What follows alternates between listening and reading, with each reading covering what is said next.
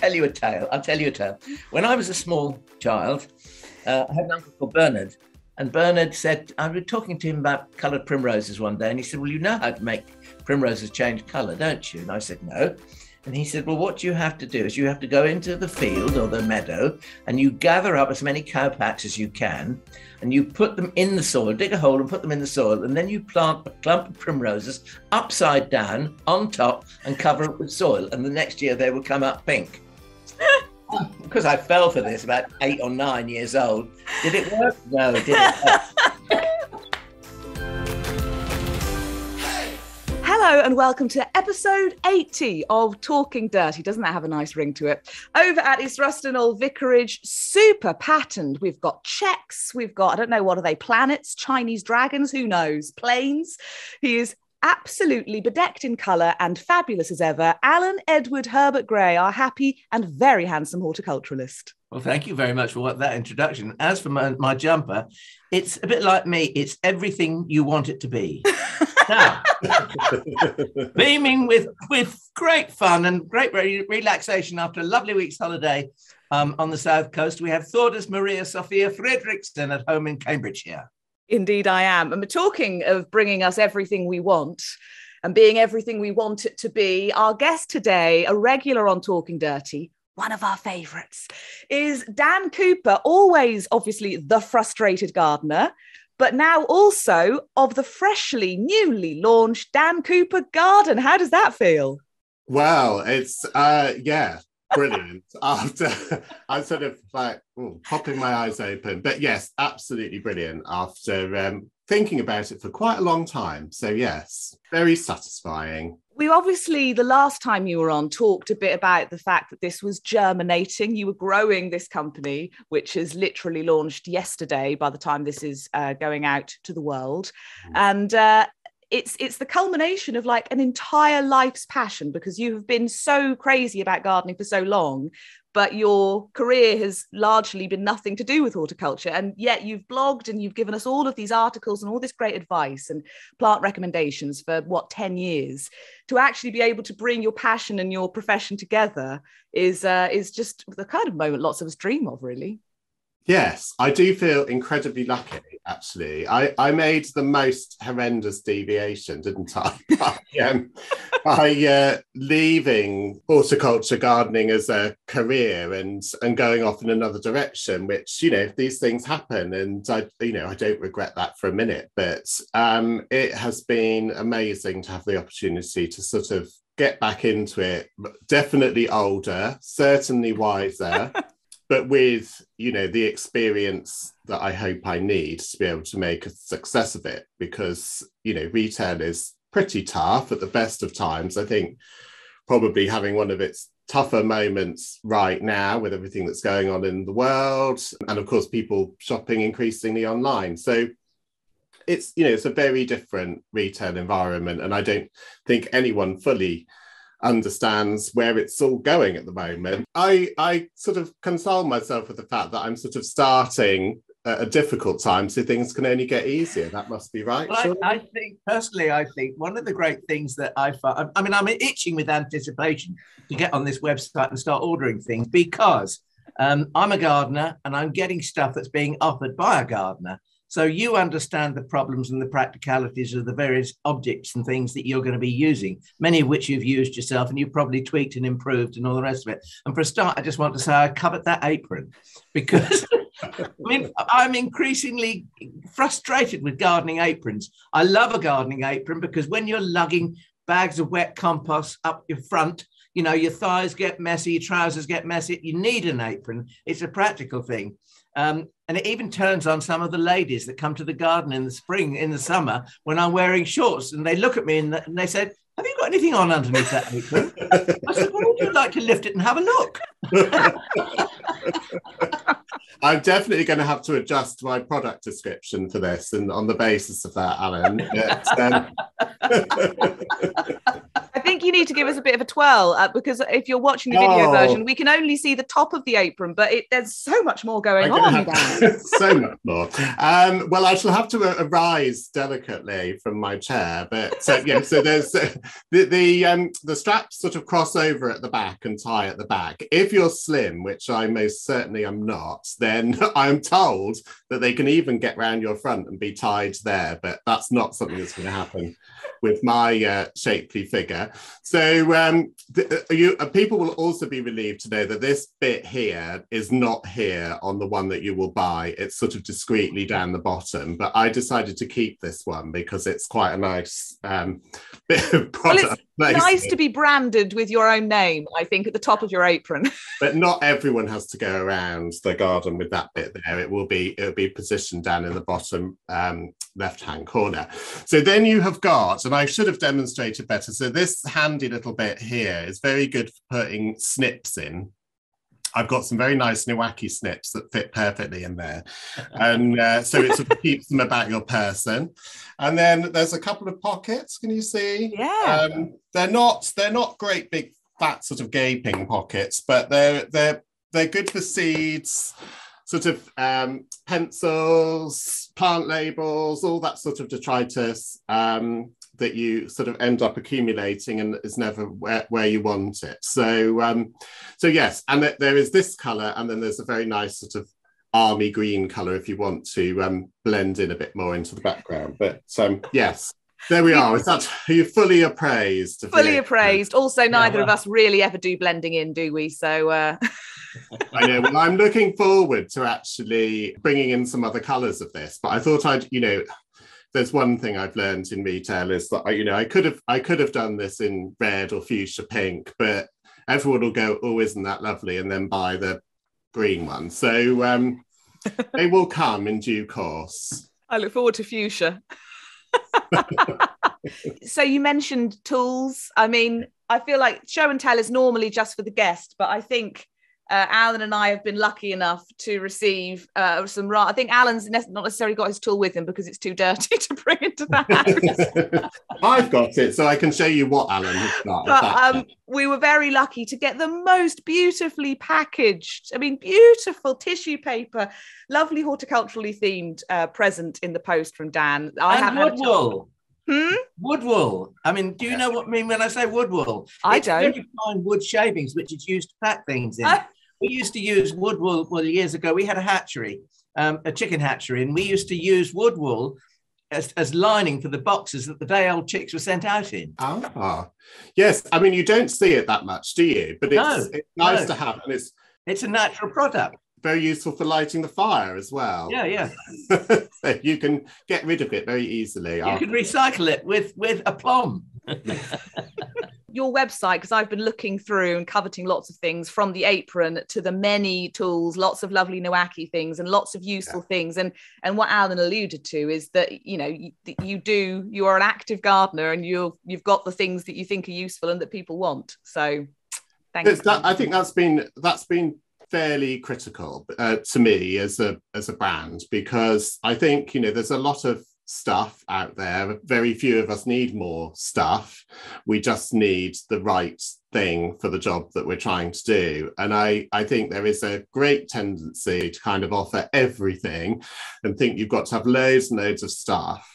But in the end, you know, we're all busy people. We don't have a lot of time. If somebody who has some experience can curate something and put together something and tell you that this is the best of the, its kind for that job, then I think that that takes a lot of onus off people and it gives people confidence to buy things. What do you call that three pronged tool that you just had in your hand a little while ago? A claw cultivator.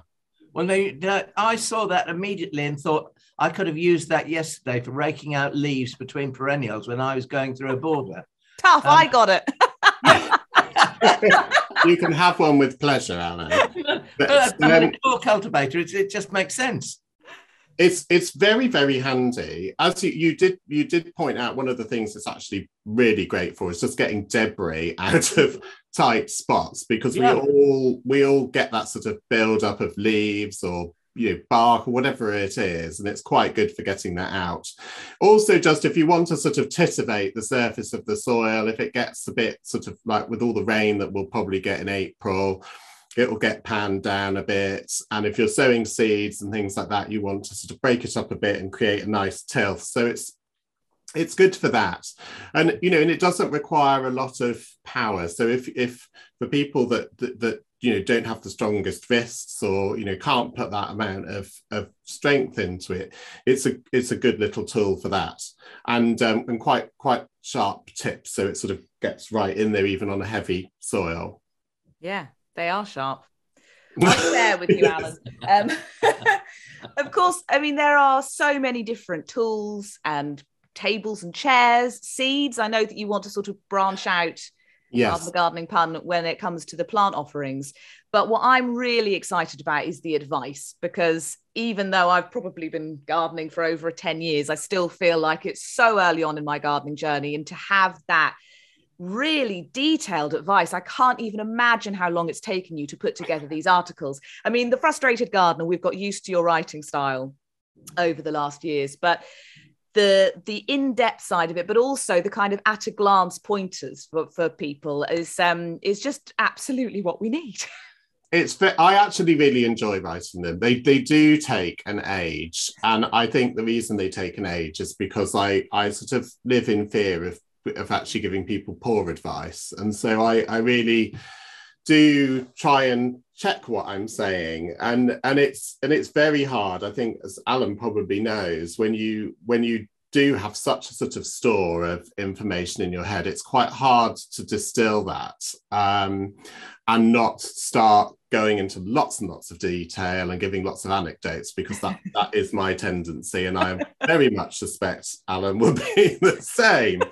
So, so the, the, the challenge is always to distill it down. My, my non-gardening friends, of which I, I have more than I have gardening friends, are always telling me not to assume too much knowledge which is an interesting challenge as well because I have to sort of take a step back. And when I write things like hardening off and um, you know, I can't think of another one now, but uh, that was one that I was. People don't know what hardening off is if they're not a gardener, so you you kind of have to take a step back and think, how do I explain these things that are sort of second nature to me?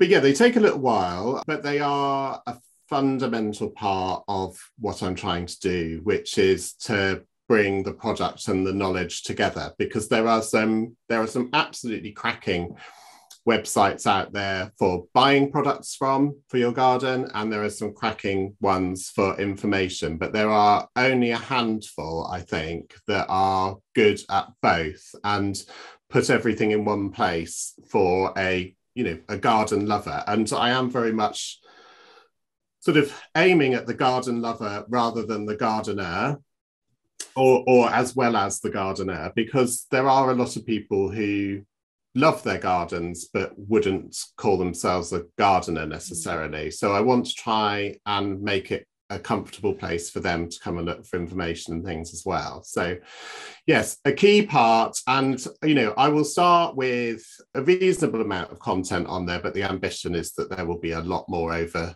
time and as the months progress. So one of the main things you'll find there every month is a sort of really comprehensive guide about how to enjoy your garden that month. So everything from gardening tasks to actually what enjoyment can you get out of your garden? Because you know we us gardeners tend to get very busy get down to the jobs and sit down very rarely but but each month i'm going to try and uh, highlight what marvels there are in the garden to be enjoyed and and you know when you have those moments of calm you know what to look out for and I don't think people can really understand how comprehensive these are. It even includes houseplants. So they can only know by going and reading some of these articles. And there'll be several um, already, but there will be loads more. So you just need to go to the Dan Cooper Garden website and read them because we can't really get across uh, hear how how fulsome and, and wonderful they are to read.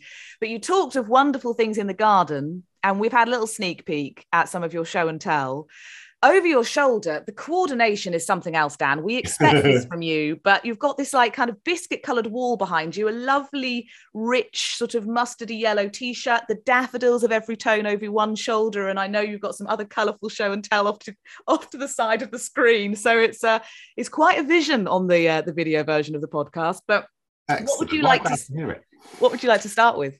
Well, um, the, you, mentioned the daffodils behind me, and these are all daffodils from the allotment, actually. So what what we do is we everything, as as you know, in our garden is planted in pots, pretty much, and um, we put them in position when they're doing their thing and they look their best, and then we kind of move them quietly out of the way when they're finished, so that the leaves can die down naturally, and that can sometimes with daffodils take until about June. And then, because the bulbs are sometimes a little bit smaller in their second season, particularly if you grow them in pots and you don't sort of feed them um, once they finish flowering, they can be a little bit smaller. So they they get transplanted to the allotment for their second year. And so these are all um, from the allotment. We just sometimes bung them in in big clumps and sometimes can be bothered to put them in rows. But you know sort of free flowers really. And they over a couple more years they bulk up and they become really excellent sized bulbs again. Daffodils much much better at uh, flowering the, the second year after planting in a pot as opposed to tulips, which can be a little bit iffy, which we've, we've talked about before, haven't we? But I am I am um, sat in this sort of cloud of fragrance that's almost um, intoxicating because I decided to um, talk about hyacinths today, or bring some hyacinths in. And I think one of the things I'd like to do when I get on to selling plants, which to be clear to anyone listening to this, I'm not going to start selling plants straight away because I think we all know what the pitfalls of, of mm. sending plants out in the post are. When I do get there, what I really want to do is try and focus on some of the plants that are perhaps currently less popular but might be popular again in the future. And we we almost talked about chrysanthemums, didn't we, last year? They're they're already on their way out of the the doldrums, but there there are lots of flowers that perhaps aren't as popular as dahlias are at the moment, for example, that could just do with a bit of a champion. So hyacinths will be on my list. I, it, they are, um, you know, they're a sort of marmite thing. I, I think in a previous conversation, Alan very correctly pointed out that they're they're so much more pleasant the second year when the flowers aren't quite so monstrously lollipop shaped. and I was actually a tiny bit disappointed this year when my hyacinth bulbs turned up because they were a little bit on the small side.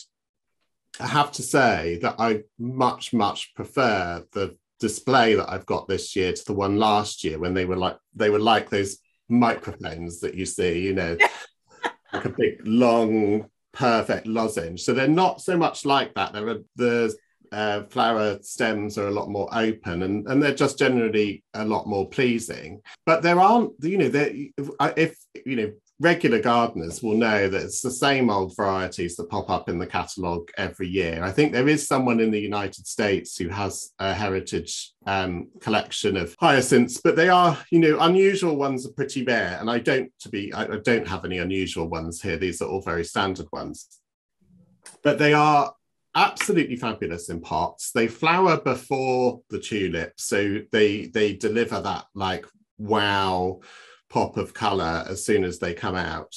And this, I, I wish we could do scent on this fabulous podcast because my garden is literally the minute you come in through the garden gate, because we're completely surrounded on every side by fences and walls, it traps the scent inside mm. and it's it's amazing. And every year I say, oh, we should plant more hyacinths. And for the last couple of years, we've done what we said we were going to do and planted more hyacinths, and it's really, really worth it.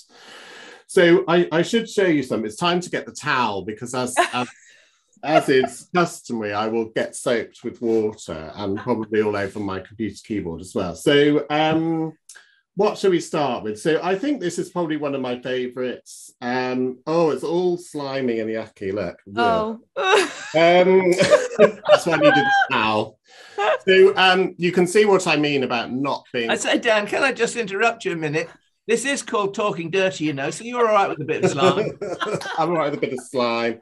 Yeah, a bulb. Um, a bulb grower was telling me the other day about this hyacinth snot, which I've I've not encountered. Have you? Um, no, no, no. Apparently, in in the bulb sort of growing world, this is some horrible goo that comes out of the bulbs that um, obviously does concern some people when they see it. But I've I've managed to go 40 years without experiencing hyacinth snot. So long may that continue. Um, but this is uh, this is one of my favorites. I don't think there's any year I don't grow this. So this is Gipsy Queen, um, which is a very nice sort of peachy color. There's a there's a few sort of tones of pink in it as well, but you can you can see what I mean. The flower head isn't quite as dense as perhaps the ones that you would grow um, indoors, and I think they're better for that. What what you don't really get, interestingly, with hyacinths, like compared to roses or something, is there's no real variation in scent. I don't think. I don't, no. know if you can your uh, nose can uh, tell the difference, Alan. But I I think all no.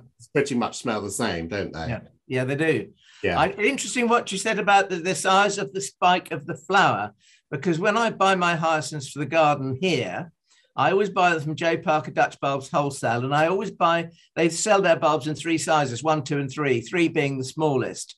And I always buy the smallest bulb because I don't want that big fat spire in the garden because it's going to just flop over and, and hit the earth and get messed up anyway um, yeah. and just look a general wreck. So I'd rather buy more bulbs at the cheaper price of the smaller size.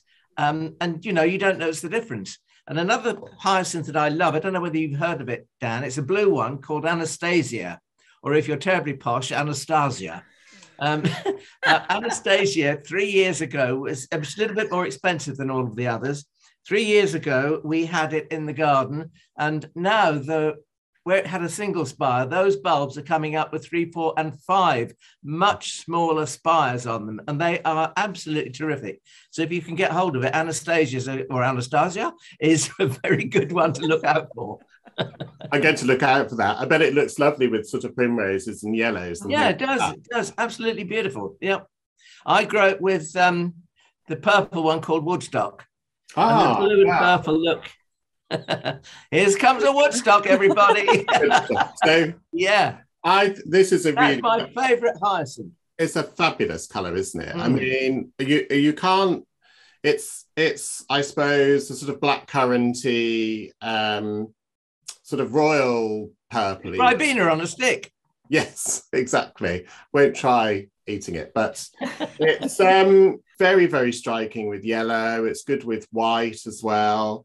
Um, and of course, there's so many yellow flowers around this time of year, so it really helps that if, if it goes with yellow. But it's just a lovely, rich color without mm. being as dark as the one that I showed you last year, which was Dark Dimension, which is so dark that it's very hard to actually see it unless you um, plant it with silver things. And actually, after we had our conversation last year, I promptly went out and um, repositioned all my hyacinths next to silver leaved plants on Alan's recommendation. But but this this is a good glowing purple and it will really show up in the garden. So very very nice. And um, and it does come back um, yeah. year after year. This one, if you want something a tiny bit um, lighter than this, Miss Saigon is very nice. That's also a, a very pleasant color as well. It's a little bit more um, bluey pink, I think, yeah. Than, yeah. than this one. I was going to add something to about hyacinths. I talked about the size of the bulbs in the catalogue that I mentioned, J. Parker Dutch Bulbs Wholesale, they actually give you the flowering times of, of hyacinths. So if you want to grow two colours together, you don't want to plant an early one and a late one so they don't overlap. You want to be, as near as possible. Um, so you get early, mid, and late season flowering hyacinths, which is always a useful thing to know. Yes, and it really does extend that sort of period of fragrance as well, yeah. which I think is is such the, the nicest thing about hyacinths really is well, the other thing i was just going to say to people if they do if every you know all those gardeners out there we all do lasagna planting now And the one thing you have to do if you want your garden to look smart is to deadhead your hyacinths just as the tulips are coming through, because lots of people don't bother. And then you see this sort of these horrible brown dead handkerchiefs flopping over the edge of the container. It looks disgusting. yes, and the smell does go off as well. I, does, I yes, find it as well. It's not nice once they start to go brown. So you, rotting hyacinth is most unpleasant. exactly. Um, the other thing as well is while we're on sort of tips of growing hyacinths, if you do plant them in a pot en masse or in a bulb lasagna, hyacinth bulbs do have this tendency to create an eruption. So if you plant them very, very close together, they'll they'll push their roots down and their bulbs up, and you can find that they sort of push themselves out of the soil a little bit. So if you if you if you keep them fairly well watered, that does stop it to some extent. But um, it, it, I find that that happens quite a lot, probably because I plant sort of maybe twenty in one pot, which is which is quite close together. Well, incidentally, if people, I'm sure most people watching this are all over bulb lasagnas and have been making them for years. But if you don't know, I'm fairly certain we made a video on it years ago that I can link to in the video versions. People want to go. I think Ian Roof might have done one for us, so people can go and watch that just in case they don't know. Or I'm sure if they Google you, you've probably written several articles about it. the other thing I was just going to add about hyacinths while we're still on the subject, in case I forget. Um, sorry, Dan, I don't want to push in, but um, at, at Waterbeach in Cambridgeshire, there's a chap called Alan Shipp. Now, Alan Shipp has the National Collection of Hyacinths, and I think that he has certain days when he is open and you can go and you can look at unusual hyacinths. I mean, you know, some people are going to want to have the odd, the unusual. I mean, I know that you would, Dan, and I would too. If there was a green flowered hyacinth, we'd want to grow it, wouldn't we? yes, that would be a thing, wouldn't it? wouldn't it? Or one with whiskers on or something, whatever, you know. Um, so if, if anybody wants to go and uh, look at that, do look at Hyacinth National Collection, Waterbeach in Cambridgeshire, and the, the guy's name is Alan Shipp. It's one of those one of those things that's really sad, I think, in horticulture is that flowers can have these moments of glory and I and and then sort of almost disappear without trace. And I understand, although my um, hyacinth history isn't probably as up to scratch as it should be, my understanding is that there was, that you know, a similar phenomenon to the tulip mania yeah. with, with, hyacinths at one yeah. stage, and that the bulbs changed hands for vast amounts of money, and there were thousands of varieties of hyacinth, and and now, as you say, you look at J Parker's or whoever else's catalogues, and, and you might find there's twelve in there. And I, I, suspect, you know, these are the ones that have stood the test of time. They multiply readily, so the growers get their sort of value for money. Um, but I suspect there are many, many older varieties that have much less sort of poised flowers and are, and are very slow to grow. That are. I think that's one of the things about some of the older varieties that we don't see today, and that is that they do require an awful lot of fussing. Um, and years ago, when there were a prolifer- proliferation of large country estates where they had gardeners um, that were able to take care and nurse these hyacinths, I mean, there's a huge cachet. There's one or two available today, well, probably six or seven double flowered hyacinths, which you don't see very much. Now, they actually do require quite um, a large amount of fussing over to, to make them reproduce and to keep them going. And that's what those old gardeners did. Um, but today we don't have the time or the knowledge or the inclination, perhaps, to do that.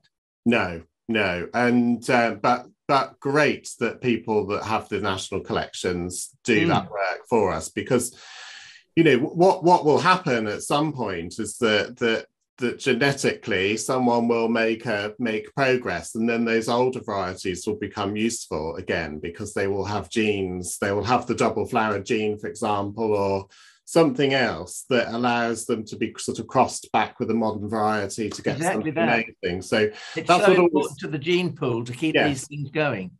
That's what, always what makes me sad to think that um, you know, and it's same to an extent with daffodils that some some of these varieties that had amazing attributes are, are just lost now. You know, they can't they can't be recreated. But um, Yes, well, let's not get on. Let's let's not be sad about hyacinth and flowers.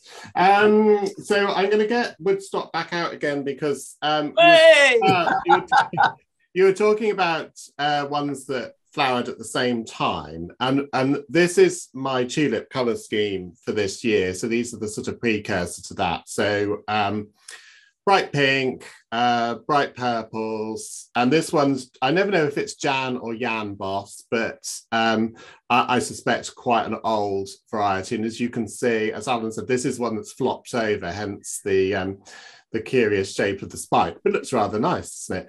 Um, but I, I really like these two together. They're such such sort of 80s colours, aren't they? They're like they're something out of dynasty. But um, but I do I really love these two together, and they they they flower bang on on cue alongside each other. So that's that's brilliant. And then um, I have an I that's the sort of jungle garden that have those colours in, and then the other garden at the back is I call it the gin and tonic garden purely because that's where uh, the sun goes at gin and tonic time, whatever time that might be. Um, sunny all the sunny all the time here, but um, in spring and spring only, we do stick to sort of gin and tonic kind of colours, so green, yellow, and white these are my choices for out there. So we've got um, this one, which is City of Haarlem. Again, this has only just started to come out, so hence the rather rather small spike.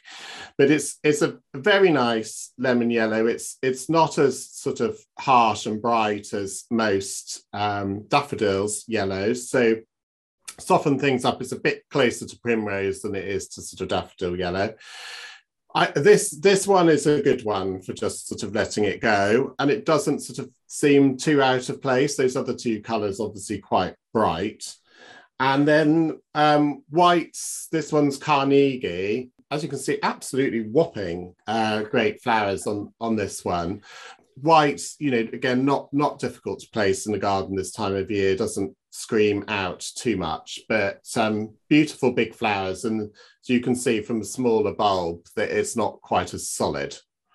So, but yeah, they all smell exactly the same. There's no no real difference between them, but uh, they tend to be the, this sort of very rainbow of colours. There's there's not many subtle nuances, are there, Alan? Really, in, in hyacinths, they're they're no. colour and that's it. Yeah, I think you've just given me an idea for my one, one of the things I have is a, is a lead cistern, which you see from a long way away when you first come to the garden and you look down this uh, path into the garden. It's at the end of this path is this large cistern, and I'm going to put John Jan Bos or Jan Bos and Woodstock in there together next year because it's such a statement. At the moment, I have in there my tribute to Ukraine, which is yellow and blue polyanthus, which I grew quite a lot of this year, and as, and way before we knew what was going to happen in the Ukraine. Yeah. And I suddenly thought the, the squirrels had been digging in there and sort of eaten a lot of the tulip bulbs. So I whipped the whole lot out and replanted them in the garden and just stuck blue and yellow in there. But next year, hopefully, it'll be more peaceful, and we'll have Jan Bos and Woodstock. Yes, let's hope so. That would be that would be a good uh, outcome, wouldn't it? But hmm. um, yeah, there's certainly it, very very striking. I think those and a tulip like Attila graffiti or something like that uh, that sort of will carry on the the Jan Bos or Jan Bos color would be would be fabulous. This has been a complete revelation to me. I'll be honest. I have spent. Do you ever have that thing where you you want to like a plant, but you don't really? So I, I always, I'm ever, yes, forever. I'm, I do, you know, I'm doing. You just hit the nail on the head, Thordis, because I'm doing it at this very moment with camellias. I mean, camellias, those big blobs of bright color. Um, I planted masses of them 20, 30 years ago in the garden, and they're now some of them are tree like proportions. And although I have a sneaking respect for them, I have to say that in my head, I really don't like them. I think that that sums up. I love the scent of hyacinths, and I've I've forced them before and had them in the house so that I can enjoy them in the house. But I don't know, maybe because my a lot of my pots are in the shade, so I don't have. I, I think they really work in containers, but I never quite know how to use them in the garden. And I I think you're right, Alan. A sneaking respect and, and a love of certain aspects of them, but I've never really used them. But I think you have inspired me that maybe next year either side of my front door two are the only sunny containers i have i think they might they might be quite nice there. Yeah, and I think the other thing, as Alan said, is to just let them go native a bit because they lose that awful sort of stiffness and rigidity once they start to um, form smaller bulbs and put up little more, more sort of bluebell-like spikes. Really, it's actually it's, it's rather like winning winning an athlete off um, um, steroids, isn't it? Yeah. to get that kind of svelte figure back rather than that overblown, over muscly, butch, lumpy thing. I think uh, familiarity breeds contempt with a lot of plants, doesn't it? I think yeah. gladioli probably have suffered yep. some of the same. You know, they just become ubiquitous, stiff, um, plants that, that that get bad associations for people. Chrysanthemum's exactly the same. You know, it's mm. just get, get petrol station full. I'm going to say supermarkets and petrol stations don't do them any favors, Dan. but it doesn't. That's not the flower's fault. That's oh. our fault for putting it in that that context and actually and and then of course it just becomes a self-fulfilling prophecy because the growers then grow more that look like that because that's what they think everybody wants and they they sort of become dumbed down, if you like. But yeah. um, you know, they, everything has its place, doesn't it? And I, th- I think it is. Um, hyacinths are, are, are, you know, there are there are some very early flowering ones, so you you can really get a big sort of you know block of really nice bright color that almost seems too early for the season and of course the scent as well, which you you just can't. I mean, I I I'm sure there are people who don't like the scent of hyacinths. just there are that don't like the scent of lilies, but you know, it is it is a it's a very evocative scent, I would say. And you, it's very evocative. I think it's the scent that, that is personally for me. I can't bear it indoors because it's too cloying. I can't bear lilies indoors either. But in the garden, I don't mind because you get a whiff as you pass. You don't have to be enforced with it. And jasmine's a bit like that as well. We've got jasmine polyanthum flowering its head off in the pelargonium house at the moment in the garden here. And when you open the door, it takes your breath away. And it really is too heavy. And you need to open all the doors and the windows and let the scent dissipate a little bit before you actually force yourself to go into the house. yeah. I think actually, Alan, you just just struck me that you got it spot on when you were talking about Woodstock and looking like Ribena on a stick. In the hyacinths are a flower that needs diluting. And yeah. you know so you're talking about the fragrance you know you don't want you don't want neat hyacinth um you want you know a whiff of the fragrance and you want a, a freer sort of flower not the concentrated sort of lollipop shape. But um anyway each to his own. I love them and I, every year i do plant more of them. They're they're very easy. And as and so the the same for these as um, the daffodils. I, in fact, I put a picture on Instagram yesterday, but all the um, sort of ex hyacinths go and get planted in rows at the allotment, and they're so cheerful. They take up very little space, and you know, in a row or a block, it doesn't matter if the flowers aren't particularly big because you still get some nice color. And bees love them as well, which I probably should have mentioned. And you're taking on the theme, Dan, which is what everybody's wanting to do, and that's to grow more of their own cut flowers. Yes. Um, and I was thinking about this the other day because last year, a friend of mine called Gilbert, who used to work for us before he retired, he has some, well, two particular plants on his allotment. One came from me, and the other uh, uh, is an iris that he grew called a bulbous iris called Iris latifolius, which they refer to in the catalogue as the English iris, but that's rubbish because I mean it comes from the Pyrenees. Anyway, never mind. you can only get them in two colours today in Parker's catalogue. There's a rich blue and a white.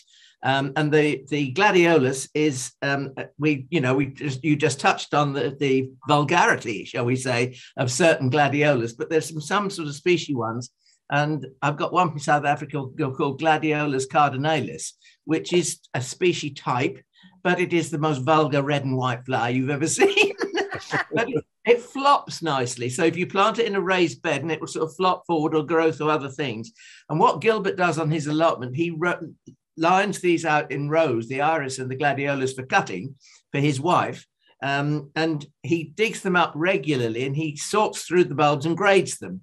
And as they make more, he grows the smaller ones on in a separate row and puts the bigger ones back to provide flowers for next year. And this is what everybody could do with their hyacinths and with their daffodils and narcissi. Um, not tulips, I wouldn't say so much, because tulips, there are very few tulips that really stand the test of time and last.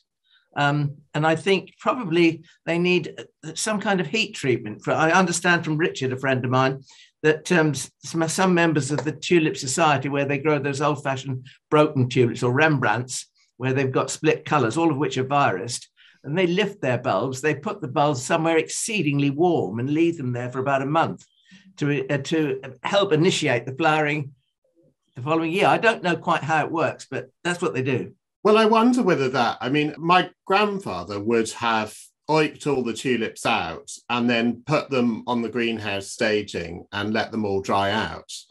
And I wonder whether that that might have a similar sort of effect. And the that, heat, yeah, on the bulbs. Yes, that really, you know, quite quite significant heat might hmm. actually um, impact them. But you have just you have just led me on to a shameless plug, which is um, about bulbs, because um, I am going to launch some bulb collections, not not immediately, not straight away, so they won't be there today, but um, a little bit later on in the month. And one of the bulb collections is uh, seven varieties of tulip, which are all reliably perennial. Um, please don't ask me to reel them off now, but um, Dan, not, not only are you a shameless plugger, but you're also very good at initiating an ask back because we're now going to have to want to know. and I'm not going to remember. so what I've done is it's a rainbow of colours. So you've got one from each colour of the rainbow. I think, um, let me try and remember some of them. So Purissima is in there. Uh, Queen of Night is in there. Negrita. There's an there's an Apeldoorn, at least one Apeldoorn in there, but I think most people, you know, uh, know that those are pretty good perennial tulips. Um, I can't remember what the orange one is called. Isn't it? Oh, Triple A.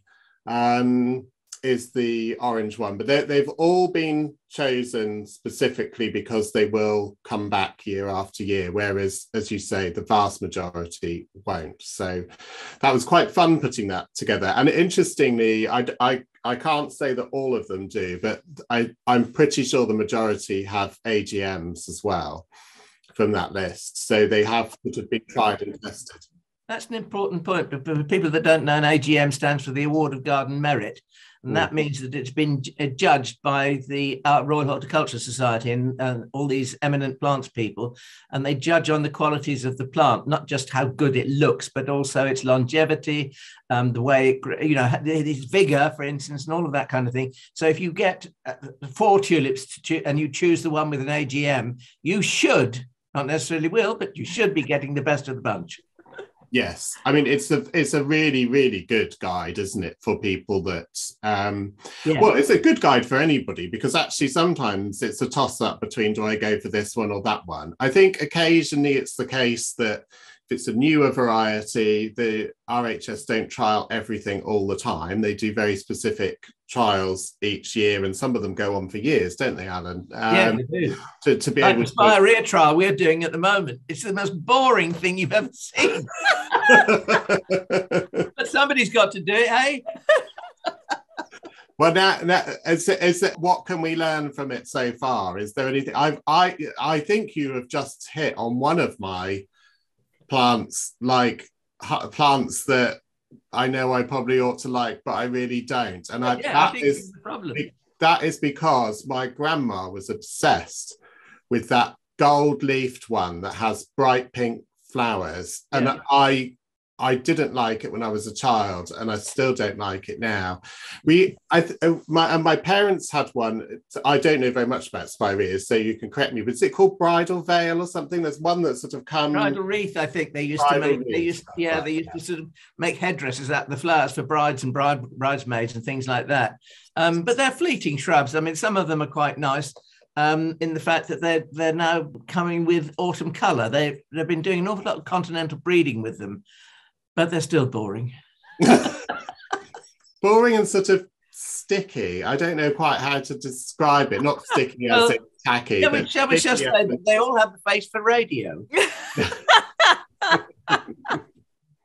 I'm similar about that, and also about Deutzia as well, which uh, which has a pretty yucky smell, as I recall. But they, yeah. I, I, I think you know, it goes back to this whole thing. It's about associations because I just I, I think of them in my parents' garden getting very tall and woody and not very well pruned, and just being shrubs where everything's going on up here and not very much down there. And anyway, we should be kinder to them. If if plants, most plants well grown, they look they look all right. So they look better than we remember them.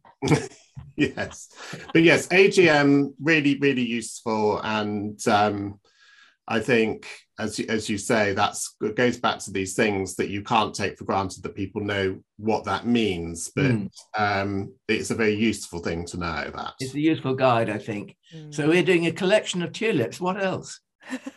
so I've got. I'm mainly focusing on tulips and daffodils for year one. So they're limited edition collections, and I've put together things that I think um, work particularly well in certain situations. So I've got daffodils for pots and tulips for pots. Um, and then there are two collections themed around my two very small gardens. So there's a jungle garden theme, which has um, some beautiful uh, crown imperials, um, and it's all sort of orange and black tulips. And then um, have a gin and tonic themed collection as well, which has yellow crown imperials and and some really cracking um, yellow and white tulips like exotic emperor and trying to think what they all are now. I can't remember all the names, but but one's purissima, of course, but all ones that um, I grow, and I've got I've got quite a lot of new ones coming up this year. So there's a quite a promising yellow one called muscadet. I don't know why it's called that because it doesn't muscadet doesn't say yellow to me at all. But um, yeah, so I'm going to see I'm trialing lots of new ones in the garden this year to see how how good they are. But I'm always going to have a bit of a focus, I think, on what grows well in containers because that's that's what I can assess most easily. And I'm and I, I want people, whatever size of garden, to be able to grow them really. I think that most people actually want um, tulips, hyacinths, and all the things that we've just been talking about for specifically for containers because uh, you get this time of the year, there's not huge amounts of color. Um, mm. but there is, of course, if you look for it, and it depends on on your garden and the way it's planted. But to get those wonderful zingy pops of colour, that's, I mean, just look at Jan Bos and Woodstock together. That's a pop of colour if ever there was. I mean, I'd never thought of putting those two together. And I don't know why I haven't, but I hadn't. It just hadn't occurred to me. So, Dan Cooper, thank you. You're welcome. The other great thing about about bulbs is that you the, the timing of when they die down and when you can take them out of the pots just about coincides with when you can put the next sort of lot of things in. So, you know, tulips may or may not decide to keep those. But um, the irony, though, the irony is, Alan, that so last year we grew a whole allotment bed full of tulips. It looked like a little miniature bulb field. And we dug all the tulips up and in a similar way to we would with the ones in the pots, just decided we didn't want them anymore. Our allotment neighbour, Archie, who is 80 and has been a professional gardener for his whole life, said that he'd take them all off our hands. And lo and behold, of course, they're all flowering and he's looking forward to magnificent display. And even the bulbs that he thought were too small to be planted in his garden at home, he lobbed them all into a pit, I think, on one corner of his allotment. Every single one's got a bud on it. So you know, Dan, what they say: you win some, you lose some. but if you can see them, you're still winning. Yeah, we can still see them, and they're giving someone pleasure. So that exactly. that's all that matters. Yeah. Uh, well, as ever, Dan, loads of inspiration. You always bring along such amazing show and tell. And uh, and it has been, I think, really good for me to sit here and covet some hyacinths. I think I needed that in my life. They've probably not had so much airtime on anything for years. So, well, I, I, tell you what, though, it's great listening to people when they've actually when they've physically grown them and they've watched the results and they've tried and they've tested them. And this is what your Dan Cooper gardening really is all about. I'm going to shamelessly plug it now. Um, oh, thank you. You're, you're probably going to want Flomo's Thordis, are you? Oh, well, I am. And it's interesting. I mean, I now have got some hyacinth Flomo, which I, I never thought I would be saying. So thank you, Dan. FLOMO, by the way, if you don't know, is that sort of fear of missing out you get about a flower or a plant. I always get a lot of it from you, Dan. In fact, before we uh, sat down to record this, I thought I would look back through some of our previous podcasts with you. And um, when we put these podcasts together and we're getting all the photos together, I end up spending quite a lot of time looking at people's Instagram accounts. And so I was trawling through lots of different photos. And uh, I don't know if it was last year or the year before, you shared Tropaeolum tricolor or tricolor, however we want to say it, with Tropaeolum brachyceras, however we say it, a yellowy one in combination with that sort of tropical fish combination of red and purple and yellow. And the two of them together, I'm not sure I've seen them combined before. And it was so spectacular. I don't actually have um, tricolor, so I, I I can't attain it at all at the moment. But what a lovely combo! Do you still have it? I do. Yes, it's not started doing its thing yet, but I do. And actually, um, it, it, was it was the last time we spoke that Alan reminded me to go and find my uh, Tropaeolum tricolor because, as as he correctly predicted, there were little threads uh, wandering out from the pot already. But yes, I've got them both and uh, they're looking very happy. I kind of have to sort of nudge them into a little bit of shelter. It, it gets very windy here. Um, they don't particularly like being buffeted about, but I, I don't find that they're too worried about the cold. But when I um, when I split my tricolor up because it has these very sort of long, uh, thin red uh, tubers, I will um, pop some in the post to you because it's very easy to easy to propagate. Well, last time I was at Alan's garden, he had three big flowering tripods, and uh, it was very tempting to buy one. But fortunately, they were so popular by the time I uh, had come back round, they'd all been bought. Within the space of about an oh. hour of the garden being open, so uh, I'm gonna try. I'm gonna try them outside next year because I never have, and and the way the winters are becoming uh, milder, I think it's worth a risk. But I mean, choose your spot very carefully. Mm. Um, as you said, Dan, they don't like being buffeted about too much by the wind. So choose a spot which is as sheltered as you can, and also somewhere that perhaps is a little bit dry. I mean, a rain shadow in a corner somewhere. Um, and if you if you've got a um, just say a climbing rose or whatever, uh, plant them so that they can weave their way up through that because the, the branches above them, we doing their weaving, will give them shelter. Hmm. You said they're easy to propagate. Uh, in our latest Talking Dirty newsletter, go and sign up on our website if you aren't uh, signed up already. But we were sort of talking about if you can if you've got a spare one definitely worth uh, you know testing their hardiness in, in different places because hopefully you will have success with it. Um, and also, this is all we always have to talk about tropaeolums because every time you're on, Dan, I have to update you on my tropaeolum pentaphyllum, which you assured me was very weedy. It is. It's currently as Triffid like as it's ever been in my uh, bathroom. And it's about to flower right by the mirror that I look at in the morning, which is very exciting. there are upsides to not having a greenhouse. Yes, I mean, it is a it is a flower that deserves to be looked at quite closely because it's kind of speckled. I remember. So yeah. Um, yeah. I love it. I'm very excited. Um, aside from those flomos, and um, because I've just been on holiday and I have been everywhere taking photos of well primulas because I can never get enough of of even just primula vulgaris and its seedlings, but also narcissi and thank you very much to people on Instagram who've been trying to help me identify various ones I've spotted uh, out and about. We think one I photographed was Mrs. Langtry, which is a pre 1869 heritage one, which I think I might be able to get hold of a few bulbs of and is absolutely beautiful, very delicate. And also Barrett Browning, which has got a little small orange trumpet and white petals. And I love a short orange trumpet on a, a narcissus. So I think they've been added to my my daffodil Flomo list, which is very very long and full of quite expensive varieties.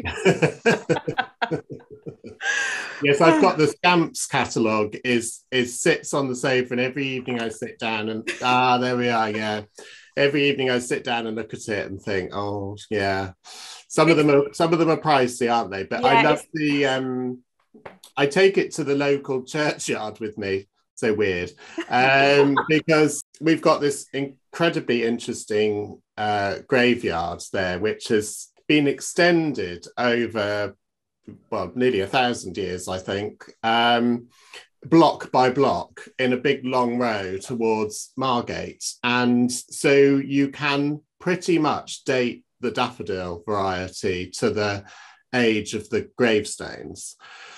And by doing that, we've and using the Scamps catalogue and other catalogues, we've been able to work out what quite a few of them are. It's quite a fun game. So exciting. Yeah. Mm.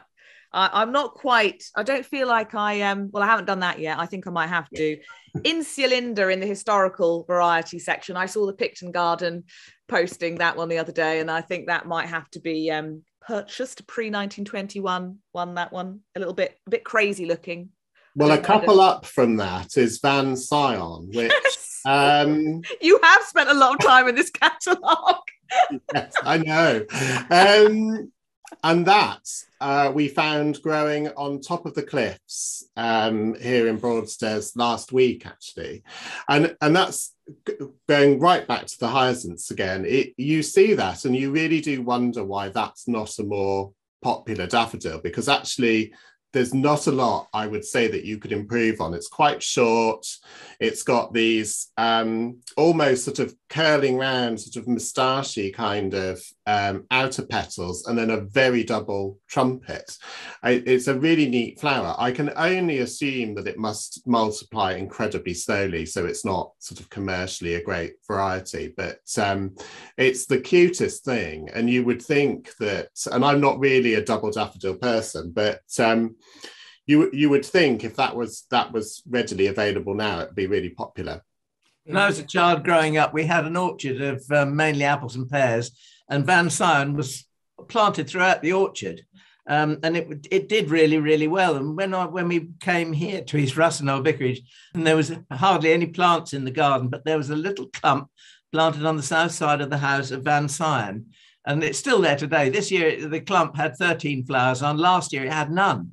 So I think it's telling me, please dig me up and, and rescue me. Right, yeah. Yeah, so I need to dig and divide it. But no, you're absolutely right. Very old, but still extremely lovely. Yeah. Hmm. Yeah. Uh, Dan, where are you at with your Flomo? Uh, obviously, quite a lot of Scamps catalogue Flomo. Yes, there's lots of that. I I don't think I've done this correctly this time. So there's one Flomo that is I have satisfied, and I've and I, I nearly Ooh. forgot that I've I've got it here. But, well, that's really interesting because this is something I want to spend a bit more time on uh, in future. Is this idea of Flomos that you found? And I put it in the last newsletter. What shall we call it? Shall we start a hashtag? And I quite like hashtag Flomo no more and uh, and then we can try and sort of highlight some of them um, on uh, in the newsletter every month because I think the feeling when you find your Flomo is so exciting, particularly if it happens out of nowhere at a nursery or a plant sale or you know an event um, or a kind gift. So uh, I think we should start hashtag Flomo no more, and yes. you can start it with your plant. It's my Flomo no more. Oh, I had to bring it in from the garden. So. Um, Jacobinia pauciflora, the Brazilian fuchsia. So um, it doesn't really look like it belongs in this time of year, does it? It looks like it should be late summer, autumn, but um, it flowers around now.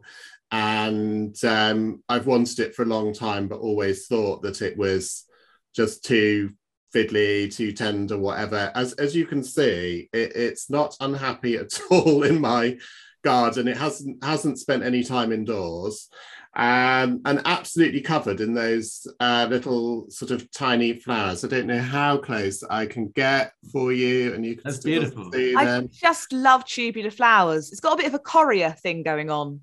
Yeah. Yes, and I love correas, as you know, so it does kind of go quite well. The the, the color of this is much stronger because I don't think you get yellow in uh, correas, but um, you do. Yeah.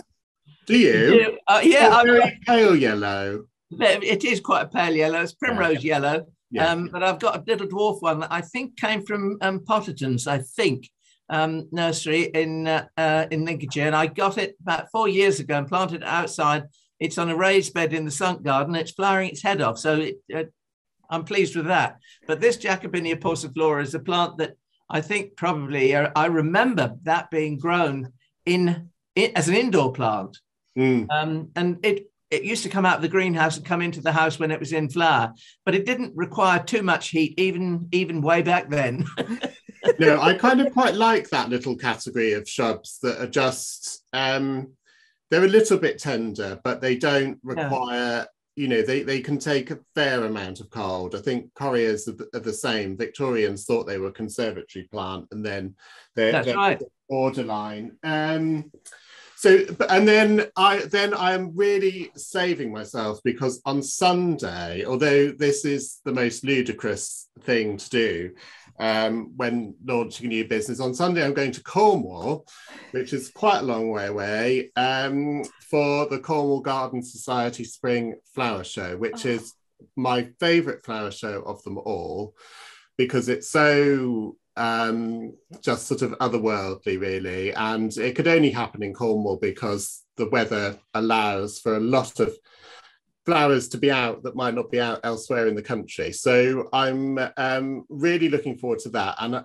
however much I go with the intention of not buying a single thing. It, it, it ain't going to happen. There, there will be all sorts of marvels there that I will be um, I will be drawn into buying. I'm sure. Well, yeah, it's, it's best that you just try and not think about your flomos before you go to an event like that because it could end up being an expensive and car filling affair. And then you have to deal with them all when you're launching your business. So try and show the kind of self restraint that I'm not familiar with. I will try. Right, Alan, where are you at with your flomo? Well, before I go into my flomo, I'd just like to, to talk about plant names, but one particular plant name, and that's a rhododendron. And I don't buy many rhododendrons because we're so dry here. Um, but I did buy this one, and it's called Christmas Cheer. Now, wouldn't you assume from that that it's because it blooms very early? Yes. Wrong. Wrong. It doesn't bloom very early at all. It's it's just uh, well, it opened its flowers about a fortnight ago. It's a it's a soft, sugary pink. Peh, take it or leave it, you know. But the reason I discovered that it was called Christmas cheer because it was gently forced to bring into your house for Christmas time. And you know, if unless you know that, you're easily misled by the fact that you think you've been done. I've just spent 15 pounds on a plant that I thought was going to be in flower for Christmas, and it's not. But there you are, discovering something. My flomo, back to back to business. My flomo. Well, my flomo is nothing to do with flowers. I'm awfully sorry to tell you. Um, um, I've always been a bit of a renegade, and I'm going to do it again. And my flomo is going to be a Dan Cooper apron. But I now know that the badge will not be on my front here, so people won't come up to me and say, "Hello, Dan. How are you?" um, and the other thing I'm going to want is a claw cultivator. So I'm, they're going to be my um, my tomos, my garden tools flomo, um, and they are two of the most useful things I've seen in a long time. So Dan, thank you very much for that. Thank you for the, all the hard work you put in on your website. I can only say that us and all the people that we probably watch us, I know Thunder Fairy will be wishing you all the very, very best with your new venture. And long may it continue. And we look forward to having you back to talk about your bulb collections. Lovely. That sounds good. Thank you. I mean, everyone has been so supportive. So I really hope I kind of live up to everyone's expectations now and deliver something great. Well, from our sneak peeks, uh, by the time this goes out, everyone can just go and look at it and see. It won't be a sneak peek anymore. They won't need to put a password in, though I kind of want to just do that because it felt so special. Um, it's it's an absolute triumph, and I can only you know I can't really wait to see how much more it develops over the coming months and years. And of course, you'll be back, as I said, one of our faves, with your towel on your lap. Yeah. Faithful kitchen towel. but until next time, the very best of luck uh, with the beginning weeks and months of Dan Cooper Garden, and we will see you shortly. Happy gardening, everybody. Happy gardening, everyone. Bye bye. Bye. I'm Dan's coming in. I'm just Yeah. going to get a coffee. Dan arrives, Alan leaves. He does always seem to leave at some point during one of your podcasts. Dan, is that apron one of yours? yes, it is. Shameless, isn't it? On this fabulous pub podcast because there's a blooper for you. Um, Dean, Dean R. Croucher on Instagram lives like five, ten minutes from where we stay. And he spotted where I was. He was like, Well, if you pop round, I've got some Aeoniums for you. And uh, I thought you might like to see. oh, lovely. I'm very, I'm very excited. So it's incredibly generous. If this makes it into the bloopers, thank you, Dean. Went to the post office this morning. So it, Oh, goodness. That was that was very committed. I bought mine in just in case. Oh. I've been scratching things out of my crack ever since it arrived. everybody needs a tool to do that.